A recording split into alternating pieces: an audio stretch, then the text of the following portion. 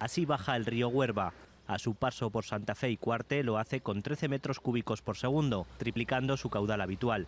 Y seguirá subiendo porque los embalses de regulación aguas arriba están al límite de su capacidad. El gobierno mantiene la alerta 1 de un total de 3 por el deshielo y el aumento de caudal en los ríos, de momento con pocas afecciones. El momento está bien, ha subido. Eh, de todas las formas, yo hace un rato acabo de hablar con la brigada de obras para que ahí cerca de un polígono echen un par de camiones de arena para que no entren las naves, que es por donde más suele colarse el agua. Los operarios de protección civil controlan la ribera del Huerva.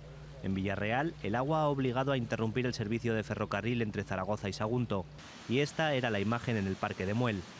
Ayer por la noche el 112 daba orden de desalojar una residencia de mayores en Cadrete. Hemos evacuado a 96 residentes. En dos horas hemos evacuado el centro por completo a nuestra residencia de mayores de, de la Expo.